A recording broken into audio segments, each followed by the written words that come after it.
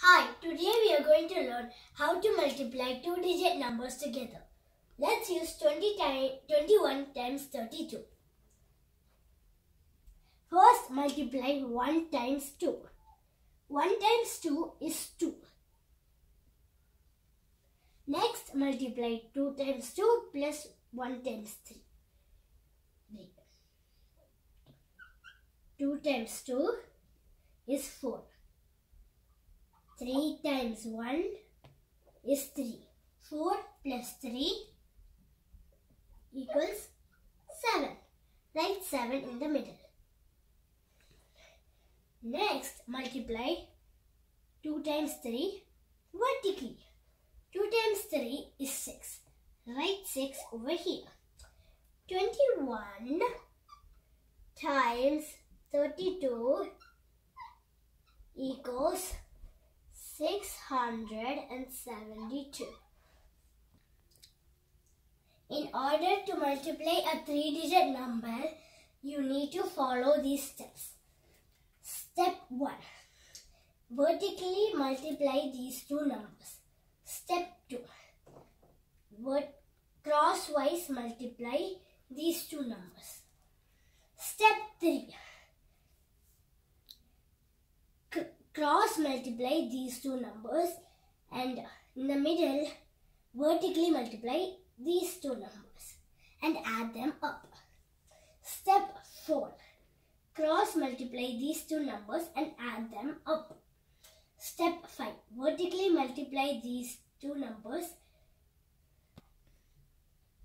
Remember these steps to multiply a three digit number. Let's multiply a three digit number with a carry.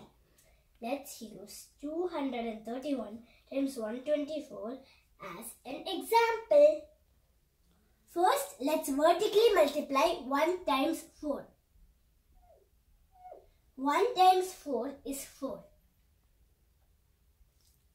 Write 4 over here. Next, multiply 3 times 4 plus 1 times 2. 3 times 4 plus 2 times 1 equals 3 times 4 is 12, 2 times 1 is 2.